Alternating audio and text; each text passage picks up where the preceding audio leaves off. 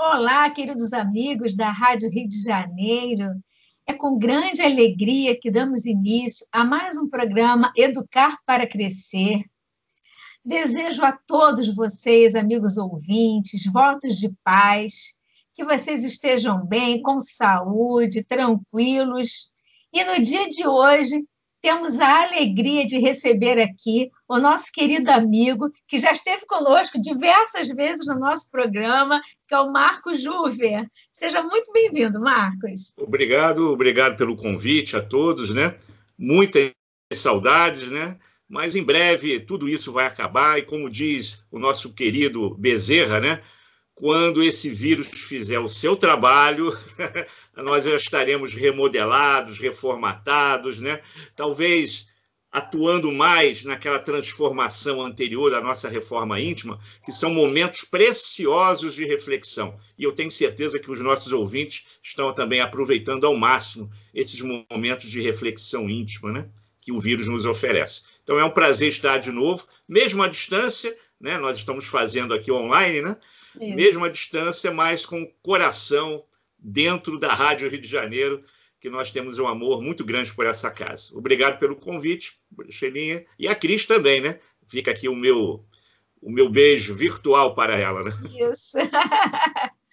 O Marcos é um querido amigo, estudioso de Eurípides Barçanufo, que hoje, hoje nós vamos conversar sobre Eurípides, não é? O Marcos é educador, né, Marcos? Tem uma, uma jornada aí de vida, né, Marcos? Tem sim. E falar de Eurípides, para mim, é um prazer, né? Esse mês que nós comemoramos o mês de Eurípides, né? Porque dia 1 de novembro ocorreu o desencarne dele, né? Em 1918, né? Aos 38 anos de idade, e nós espíritas comemoramos o desencarne também, né? ainda mais de espíritos como esses, verdadeiros ícones da doutrina, enviados diretamente por Jesus para nos ajudar. Então, falar de Eurípides, para mim, é uma, é uma benção. Eu, eu sempre aprendo um pouquinho quando eu falo dele. Né? É verdade, é todos nós. A gente sempre aprende muito. Outro grande educador, não é? Outro ícone da educação, é, com certeza. Ícone da educação. Uhum. E, queridos amigos, gostaríamos de convidar a todos vocês para acessar o nosso Facebook, o Facebook da Rádio Rio de Janeiro, curtir a nossa página. Esse programa está sendo gravado e ele vai estar sendo disponibilizado no YouTube, né? já, tá, já está no YouTube. Então, é só vocês depois compartilharem com os seus amigos e, e é sempre bom também a gente sempre fazer esse trabalho de divulgação da nossa Rádio Rio de Janeiro.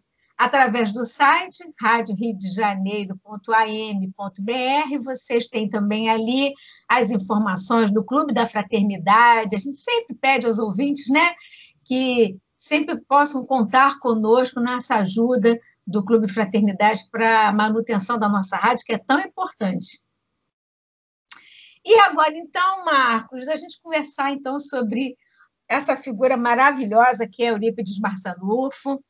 Eu gostaria então que você começasse a contar para a gente, para os nossos ouvintes, quem foi o Eurípides, não é? Uhum. educador. É, eu sempre inicio as minhas palestras sobre Eurípides, né?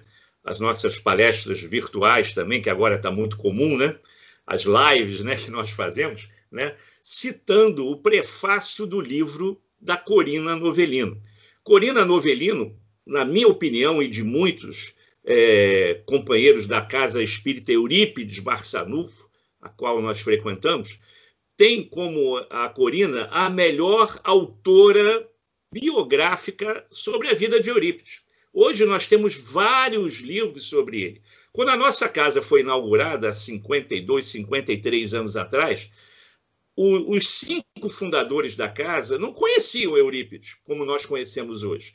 Foi Chico Xavier que apresentou Eurípides para aqueles cinco jovens para iniciar um trabalho com ele lá no interior de Jacarepaguá, naquela época era roça mesmo, né? lá na, na Taquara, né? aquele Jacarepaguá, onde ainda é a sede da nossa casa. Rua Gazeta da Tarde, 235, que fica lá na Taquara. E, e eles toparam imediatamente, mas sem saber mas que espírito é esse. E com o tempo, né, novos, novas revelações, autores espirituais falando sobre a vida e a obra de Eurípides, até que chega em 1980 esse livro da Corina Novelino, que foi aluna dele. Aqui, né? Esse aí, primeira edição, se não me engano, essa capa já não é mais a mesma. Essa deve ser a primeira, a segunda ou terceira edição. Essa aqui eu tinha. Mas você comprou no início, parabéns. Você já, quando saiu, você comprou. A capa já não é mais essa. Mas ela, ela dá toda a dedicação àquele professor que ela amou, chegou a estudar com ele lá no colégio, e, e ela teve prazer de entrevistar todos esses personagens que ela entrevistou, ela fez pessoalmente, muitos hoje já desencarnaram, né? Esse livro é de 1980, né? Mas é talvez o livro mais fidedigno sobre a obra de Eurípides. Hoje tem quase 10 livros, mais de 10 livros falando de Eurípides. Tem vídeos, né? tem teses de mestrado, de doutorado. Um vídeo, tem um é, vídeo do Oceano. O Oceano Vieira de Mello fez um documentário muito bacana. Sim, sim. Está disponível também no YouTube, é. né? É. Várias entrevistas, né? Lá na Fazenda Santa Maria também. Então, não, não falta hoje informação é, sobre Eurípides mas naquela época, 52, 53 anos atrás, foi um desafio. E quem foi esse espírito? Aí eu volto lá para a introdução desse livro, da, da, que, foi dada pelo Chico Xavier. O prefácio foi dado pelo Chico Xavier. A Corina era muito amiga do Chico, o Chico ia muito a Sacramento. Sacramento de Uberaba, Sheila, dá assim de carro uns 25 quilômetros, 30, não, perdão, 25 minutos 30 minutos de carro, não é muito longe. É, pertinho. É, considerando que tudo lá, uma, um município é bem afastado do outro, né? É até relativamente perto. E o Chico, quando podia, ia lá para Sacramento, na chácara do Triângulo, né? Para poder meditar naquelas árvores em que Eurípides meditou durante muitos anos, estudando Kardec, né? estudando Leon Denis, né? que foi o livro que abriu as portas para a sua entrada na doutrina. Veja bem, não foi Kardec, não, foi Leon Denis, o livro Depois da Morte. Olha a importância de Leon Denis, que era o plano B do mundo espiritual, né? caso Kardec falisse na sua missão. Mas isso não aconteceu. Né? Kardec desempenhou né, com, com muita dedicação essa sua missão, mas tem aí as obras pouco lidas que são as obras de Leon Denis. Eu acho que o espírita tem que se dedicar mais aos clássicos, né? Leon Denis, que era o plano B da equipe espiritual. E foi o livro Depois da Morte, tão bom quanto o livro dos Espíritos, segundo o próprio Eurípides falava, né? É, tão bom quanto este, ele sinalizava o seguinte: poxa, mas esse livro me explica várias coisas que a igreja não sabia me explicar. Mas isso eu vou falar daqui a pouquinho. Vamos voltar lá para a introdução do livro, que está todo mundo curioso. O que é que o Chico escreveu? Olha, foi o Chico que escreveu. Não sou eu que estou falando, não. O Chico escreveu dizendo o seguinte: que falar de Eurípides é o mesmo que fazer a biografia do Senhor Jesus. Olha só, rapaz. Que espírito é esse, hein? Não é porque eu sou da casa de Eurípides, né? que a gente vai dizer que depois de Jesus são um dos poucos espíritos de altíssima hierarquia espiritual. Então a gente lá da casa de Eurípides ousa dizer sim, que depois de Jesus foi um dos maiores espíritos que estiveram aqui. Pouco conhecido ainda no movimento espírita, ainda, né? mas é um espírito que eu tenho certeza que foi convidado por Jesus de outras esferas muito elevadas para estar aqui conosco, para dar o seu testemunho e muitas vezes, em várias encarnações passadas, e muitas vezes dando, se entregando de corpo e alma a Jesus e com algumas uh, encarnações assim em que ele vivenciou né, a, na tortura, na prova da dor, da intolerância de outras religiões, o fato de ser cristão.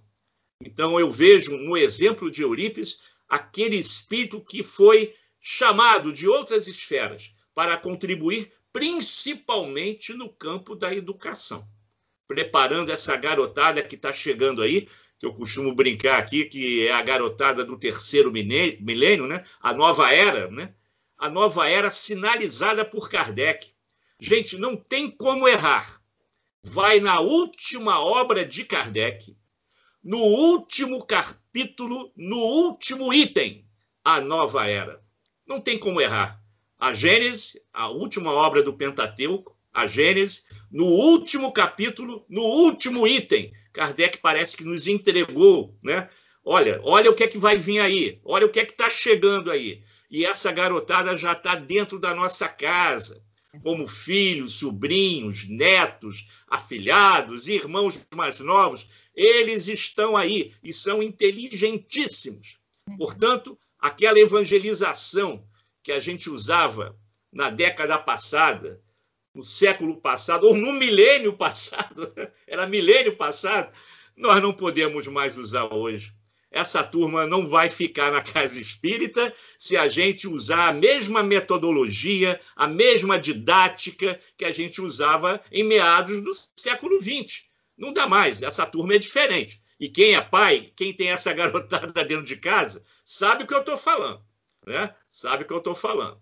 Então, são espíritos inteligentíssimos, né? Que sabem o que a gente está falando, porque a gente fala para eles de espírito para espírito, então precisava de uma metodologia condizente a essa galera que está chegando aí. E é isso que Eurípides já colocava em prática no início do século XX, no Colégio Allan Kardec, o primeiro colégio espírita do Brasil e do mundo, lá na pequenininha cidade de Sacramento. Eu falo pequenininha porque ela ainda é pequenininha hoje. Se Sacramento tiver 25, 26 mil habitantes, é muito. É muito. Então, ainda é uma cidade pequenininha. E eu convido a todos, após a pandemia, após voltarmos né, a uma normalidade razoável, né?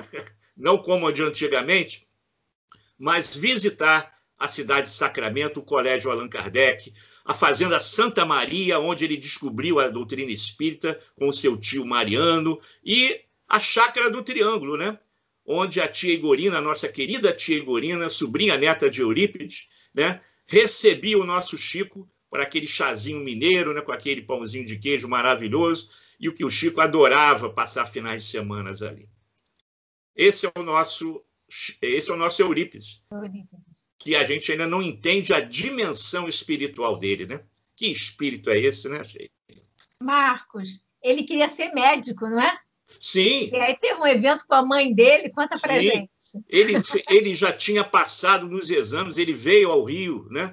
Para estudar na mesma faculdade de medicina que Bezerra se formou, né? Uhum. E depois eles ficaram como parceiros, né?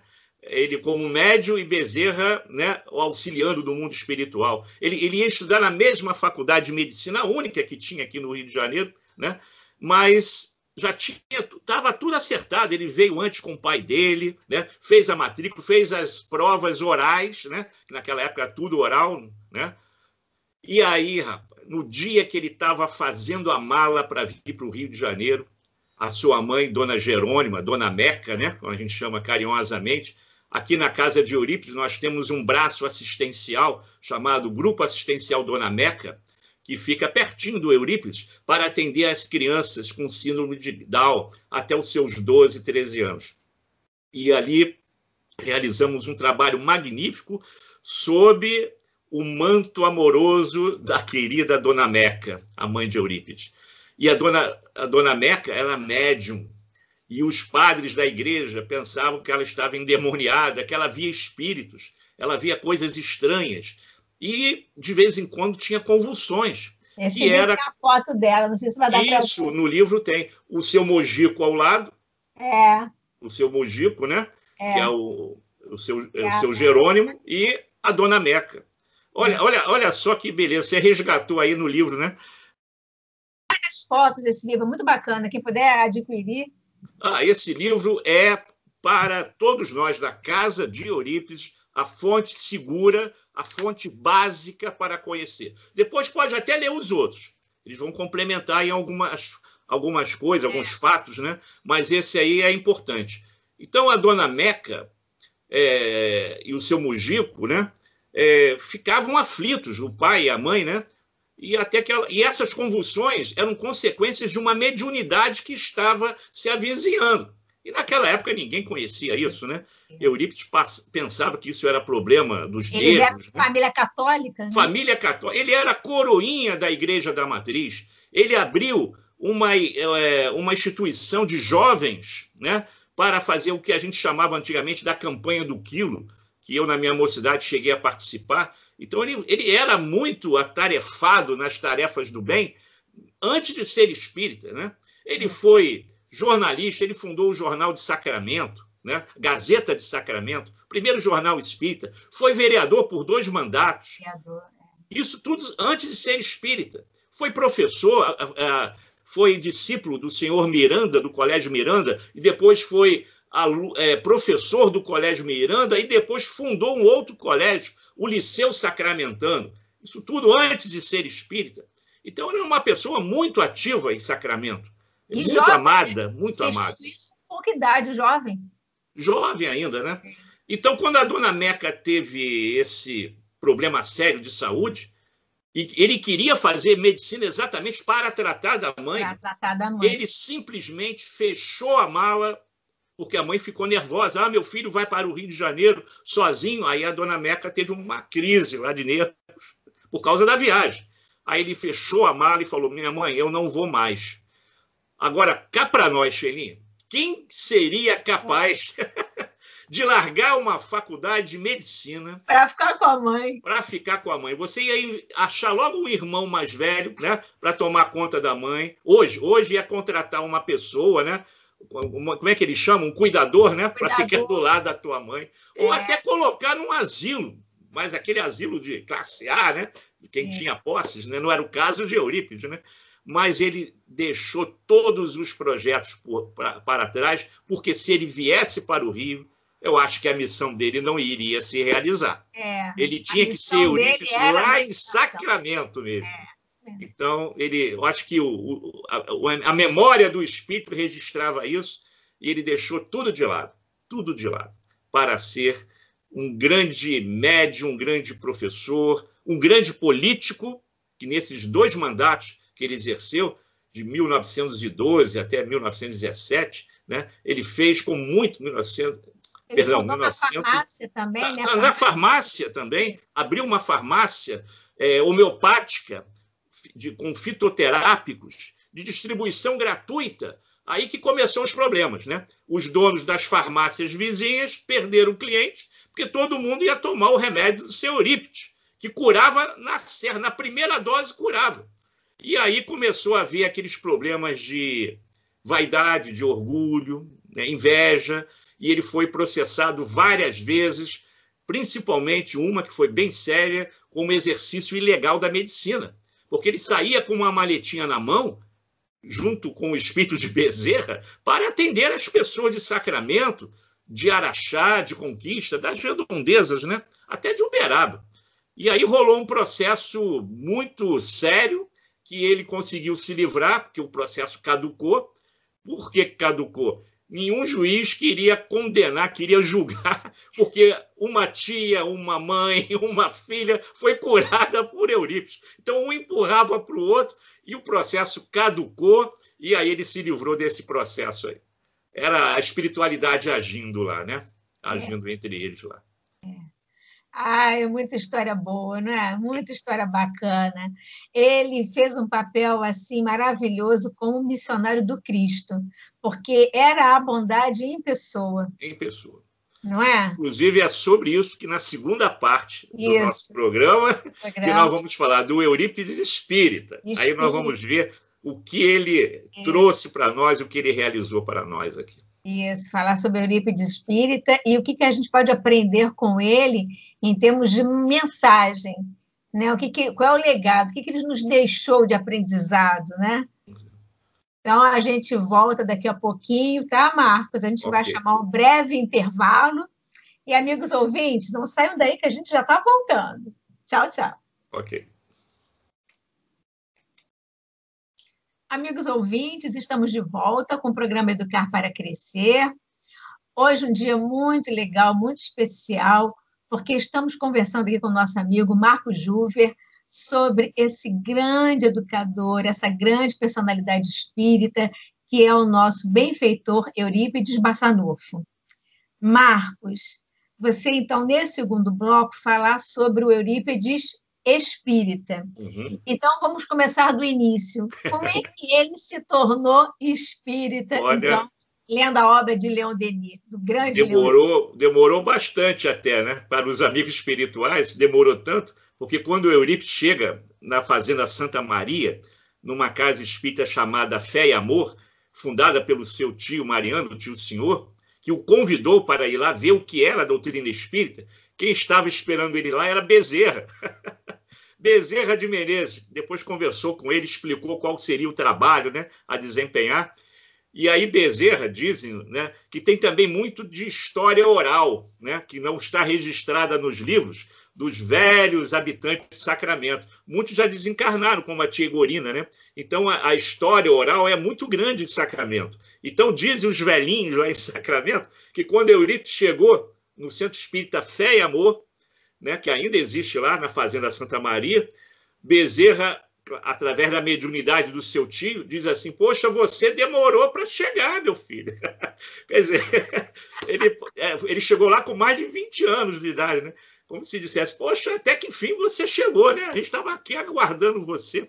Mas a entrada dele na doutrina foi muito legal, porque ele era muito inteligente. Ele era muito inteligente.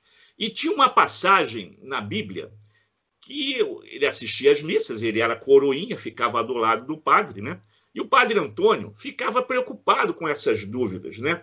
Esse padre Antônio ofertou a Eurípides a Bíblia.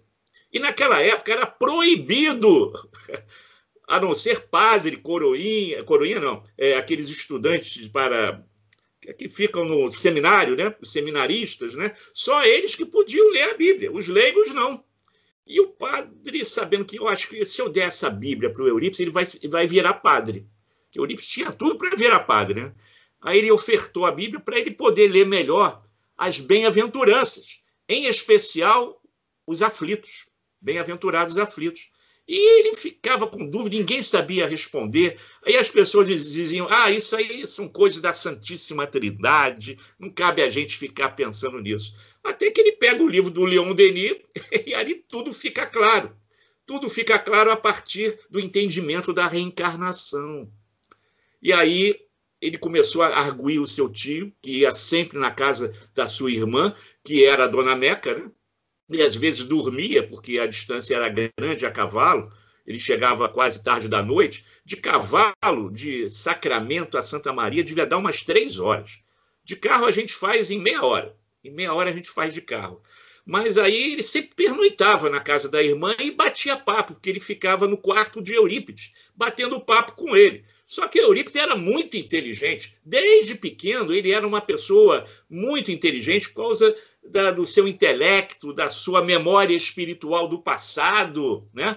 E superdidata, autodidata, né? Então o tio, quase semi-analfabeto. Ele não conseguia dar conta de uma discussão. Aí ofereceu para ele o livro do Leon Denis, depois da morte. Aí o seu, isso poucas pessoas falam isso. O tio dá o livro, né? Ele pega, o Eurípides pega o livro, à luz de vela, começa a ler o livro e o tio percebe que ele não tira o olho do livro. Então ele vai lá para a sala conversar com a, com a, com a irmã, depois vai lá para a rua fazer alguma coisa, fazer um atendimento, que ele também dava passes, né? E o pessoal de Sacramento buscava o seu, o seu Mariano, o tio Mariano, para receber passes, que é também médio de cura.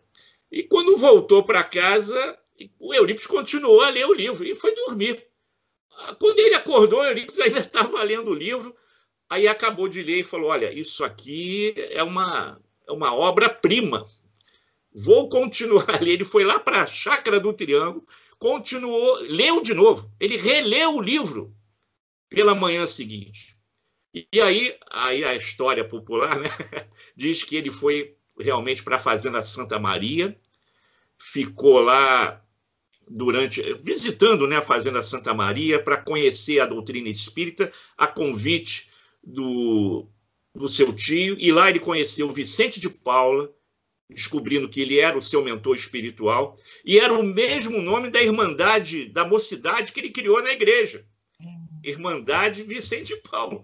E Vicente de Paulo diz para ele textualmente: ó, larga a igreja, larga as suas atividades na igreja e vamos trabalhar com Jesus na doutrina espírita. E ele faz isso. Então ele volta, né? Ele depois de várias visitas à, à casa espírita Fé e Amor, ele se reconhece espírita, né?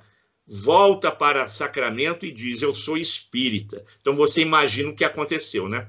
Se hoje o interior mineiro ainda é muito católico, extremamente católico, né? Imagina naquela época, início do século XX.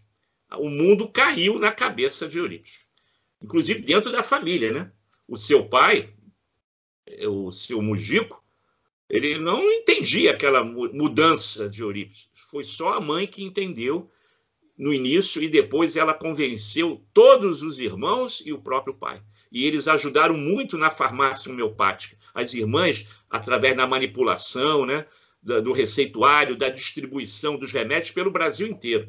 E aí Eurípides, através daquele sonho que todos conhecem, que Hilário Silva escreveu no livro A Vida Escreve, né? aquele sonho do desprendimento de Eurípides, em que ele chega a, a, uma, a uma atmosfera completamente diferente da Terra e encontra Jesus chorando. Todos conhecem, todos lembram dessa passagem, né? Vale a pena lembrar para aqueles que ainda nunca ouviram.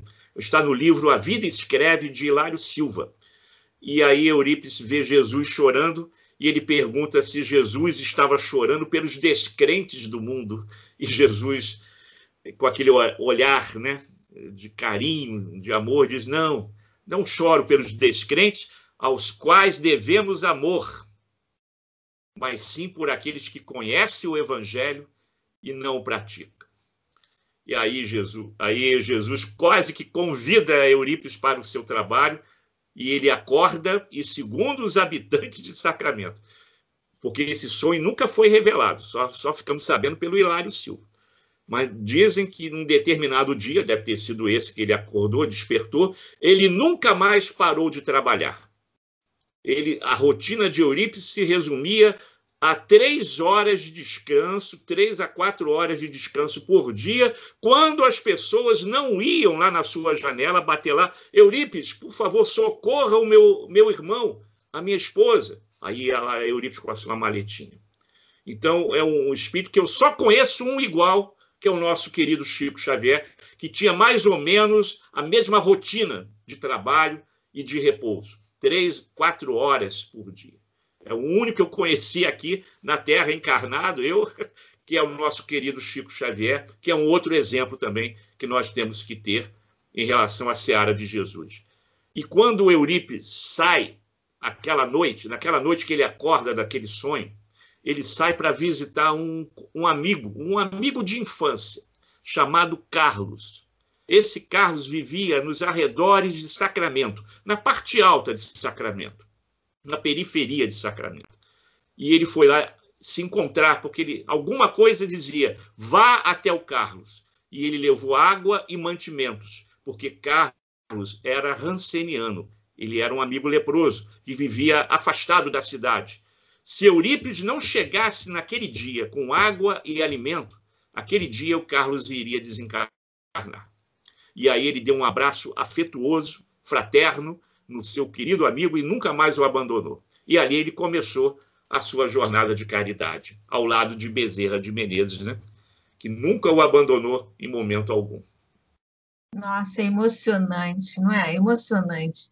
Para você, qual é o teu maior ensinamento que você de vida que você tem com Eurípides? É na área da educação. Eu, como professor, né, como educador, eu uhum. não poderia deixar de me é, me espelhar no exemplo de Eurípides, como educador que foi. Numa época que ele mudou, comple é, é, mudou completamente a postura do pedagogo perante os alunos, não, não não ofertava, ou melhor, não é, os alunos, vou até mudar o contexto, os alunos das escolas é, ao lado do Colégio Allan Kardec, que ele já tinha fundado em 1907, foi quando ele fundou o Colégio Allan Kardec, os alunos das escolas ao lado queriam estudar com o professor Eurípides, porque com o professor Eurípides ninguém apanhava, porque você sabe que naquela época tinha palmatória, ficava ajoelhado no milho, ficava em pé não sei quantas horas atrás do quadro negro, tinha que escrever não sei quantas vezes no quadro. Então, com Eurípides não tinha essa parada, não. Ele, ele aceitava a todos como amigos e chamava os alunos de senhor. O senhor sabe que o senhor chegou atrasado. O senhor sabe que o senhor estava. Eu sei que é que o senhor estava fazendo na rua. Que ele era médio e via, sabia tudo. Então ele não repreendia o aluno. Ele fazia o aluno refletir no erro e não mais cometê-lo. Ele é um grande educador com metodologia pestalozziana. E olha, eu desafio as escolas do Rio de Janeiro e do Brasil, que se dizem escolas pestalozzianas, se conhecem realmente Pestalozzi. Porque Pestalozzi hum, praticamente não é lido no Brasil, os seus livros não foram traduzidos para o Brasil. Eu, eu me lembro que a Dora Encontre estava trabalhando nesse projeto, porque o mestrado, doutorado, pós-doutorado da Dora foi toda nessa área de Pestalozzi. E ela visitou o Colégio Allan Kardec, visitou o Sacramento e falou: tem Pestalozzi aqui, tem Pestalozzi aqui. E Eurípides trouxe essa metodologia dificílima, porque os livros de Pestalozzi são livros de ideias. E no Brasil, ninguém quer editar um livro de ideia. Você encontra a obra completa, talvez, com certeza, na Alemanha, na Áustria, mas na França você tem dificuldade, na Inglaterra você tem dificuldade, até, até em Portugal, porque seria ótimo, né? Com o português de Portugal trazer o livro para cá e a gente lê as obras, mas não tem, não tem. E é uma literatura difícil. Então, como é que Eurípides traz Pestalozzi para o interior do Triângulo Mineiro, numa cidadezinha pequenininha chamada Sacramento? Aí vem aí, o Chico falando para nós que uma das últimas encarnações do Chico, do, do, do Eurípides, antes de reencarnar em Sacramento, a primeira encarnação dele aqui em Minas seria a última encarnação foi como Lavater, o filósofo Lavater, ou Lavater, como queiram, contemporâneo de Pestalozzi, amigo íntimo de Pestalozzi. Nossa. Aí a memória espiritual colocou tudo em prática. E uhum. tem mais. Quando eu cheguei no colégio Allan Kardec pela primeira vez, recebida pela Alzira, sobrinha neta de Eurípides, que dá continuidade a esse projeto do colégio Allan Kardec, e do educandário Eurípides Barçanufo, que eles fundaram lá na parte alta da cidade, ela falou para mim: olha, quem coordena a parte pedagógica do colégio espiritual, no mundo espiritual, colégio Allan Kardec, no mundo espiritual, é Pestalozzi é Pestalozzi. Então, a metodologia do educandário, onde se deu o nome de educandário Eurípides Barçanufo, é todo dentro da metodologia pestalozziana. Impressionante, né? Impressionante. Nossa, para você realmente é uma é um bálsamo, é uma riqueza. Ah, eu, eu, quando eu descobri isso, eu bebi é. da fonte, né? Aí interessante que Pestalozzi é uma literatura difícil, né? E é. a gente aqui no Brasil tem dificuldade. A Dora facilitou em muito, porque ela já editou várias obras sobre Pestalozzi, me ajudou bastante a conhecer, mas aí num bate-papo né, é, entre eu e a Alzira, ela falou assim, olha, se você quer conhecer Eurípides, você tem que conhecer Pestalozzi. Você vai ter que ler Pestalozzi. Tudo bem. Aí ela Se fosse só isso, tudo bem, mas ela chegou depois, ah, mas para conhecer Pestalozzi, você tem que conhecer Rousseau, porque Rousseau foi o mentor de Pestalozzi. Ah, mas para conhecer Rousseau, você tem que conhecer Comênios, que foi um outro pedagogo anterior a Rousseau.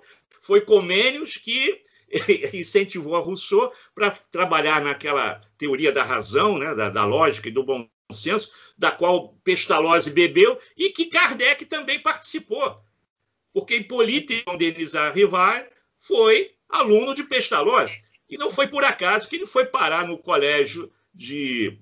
É, no, na, no, Castelo de Verdun, cantão de Neuchâtel, né, lá na, na Suíça, para voltar para a França com ideias que depois seriam colocadas no livro dos Espíritos, aquela metodologia de perguntas e respostas. Ele aprendeu com Pestalozzi. E hoje ainda tem cursinhos de pré-vestibular, pré-técnico, pré-militar, que usa essa metodologia de pergunta e resposta para facilitar o aprendizado do aluno. Então, eu, eu como já estava entrando na educação, quando eu vi aquilo, aí eu me apaixonei de vez, tanto por Pestalozzi como por Eurípides Barçandufo, né? Realmente, a, não foi à toa que a mãe do Eurípides passou mal, porque o caminho dele não era medicina, era a educação. E graças a Deus ele ficou, né? Não é? E Eurípides, ele desencarna em 1918, 18. Né? Tem alguma história aí para contar? Por essa pandemia semelhante a essa, até pior. Espanhola, né? Gripe espanhola. Ah, é. interessante que a cada 100 anos o planeta passa por algo é. semelhante. Eu conversando com um amigo médico, ele falou: isso aí é comum no planeta Terra, a cada 100 anos aparece algo desse tipo. Né? E naquela época, 1918, nós não tínhamos as informações que temos em real time, né? as redes sociais, né? tudo assim, um instante, sabendo o que está acontecendo no outro lado do mundo agora.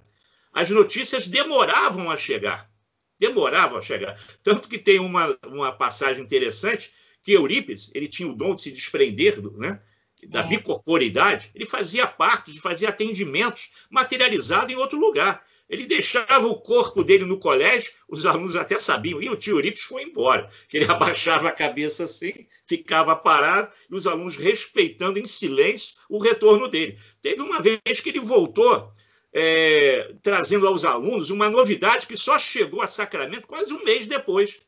Foi o Tratado de Versalhes. O, o, o tratado que encerrou, que acabou com a Primeira Guerra Mundial. E ele veio dizendo quem estava no salão imperial de Versalhes assinando o tratado. Um mês depois chegou a notícia em Sacramento. Os alunos já sabiam que a guerra tinha acabado, que o acordo tinha sido assinado, e frequentemente ele saía do corpo, sim. Todos aqueles itens que Kardec coloca como atributos de médiums, do, do médium, do livro dos médiums, qualidades mediúnicas que estão ali descritas e estudadas por Kardec, eu ouso dizer com os companheiros de Sacramento, que ele dominava todos aqueles fenômenos mediúnicos. E o Chico ainda dizia o seguinte: esse dom da bicorporeidade, só espíritos de altíssima hierarquia moral é que podem realizar. Então, veja bem, hein? que médium. Eu Isso. falei só da área do educador, mas você pode falar do médium, do vereador, né, do é. jornalista, do, do incentivador né, na área da cultura, levando cultura, levando saneamento para Sacramento.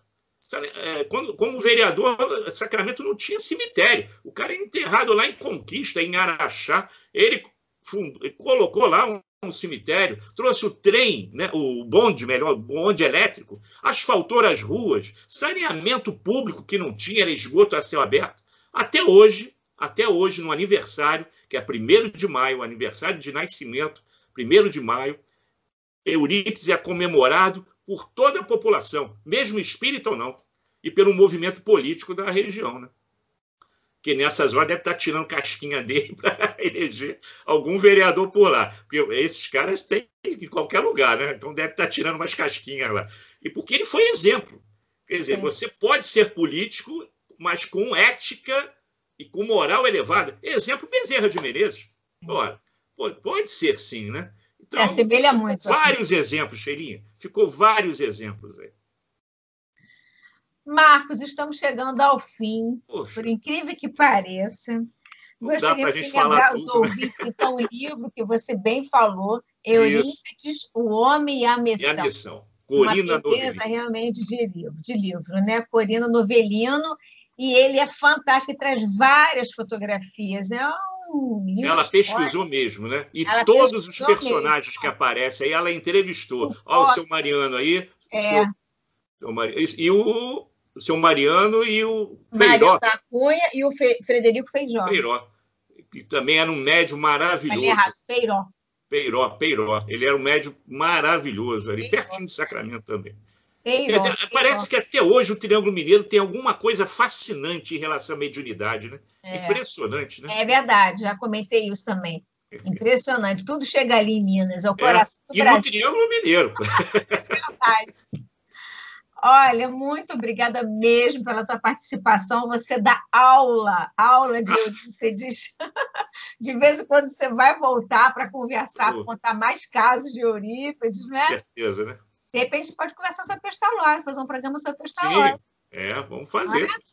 Eu, vamos fazer. Vamos fazer. O programa Educar para Crescer, a gente tem que falar de Pestalozzi. vamos falar né? de Pestalozzi, tem muita coisa boa aí. Porque o pessoal acha, ah, ele viveu na Suíça, né, terra boa, né? Mas naquela época de Pestalozzi não era muito bom, não. Vai lá no Google, só para dar um spoiler aí na nossa próxima, vai lá no Google, coloca lá é, Revolução Helvética, com H. Revolução Helvética. Aí vocês vão ver o que aconteceu na Suíça na época de Pestalozzi de Lavater, né? antes de Kardec chegar na Suíça em Verdun. Já estou dando um spoiler aqui. Fica para a próxima. Fica para a próxima. Fiquem com Deus. Muito obrigada sempre pela audiência, pela companhia de todos vocês. Marcos, gratidão. Fica com Deus, tá? Tchau, tchau. Obrigado.